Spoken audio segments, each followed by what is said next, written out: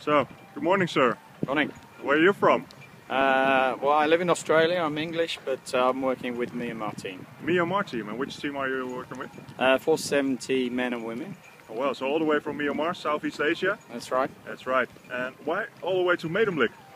Uh, well, we come here for some training. Uh, we've been here for 10 days and doing some good training, some good winds, but a little cold. Yeah. But uh, the weather's getting a bit better today. Uh, we're mainly training for uh, an event that the Myanmar is hosting in December, which is the Southeast Asian Games.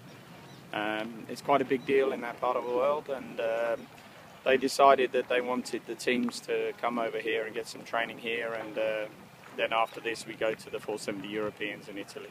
Wow. Any expectations for this week? Uh, no, not really. We're uh, learning is the main expectation. Yeah. And uh, What's the focus on? Yeah, I think mainly some skills we've been working on a lot, but uh, primarily uh, f- we're here for racing.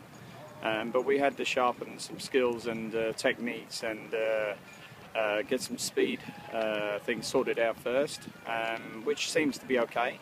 And um, the teams are reasonably experienced in the past, and um, you know, never know, we might get a few surprises. Okay. Good luck to you this week. Yeah, thank you. Thank you.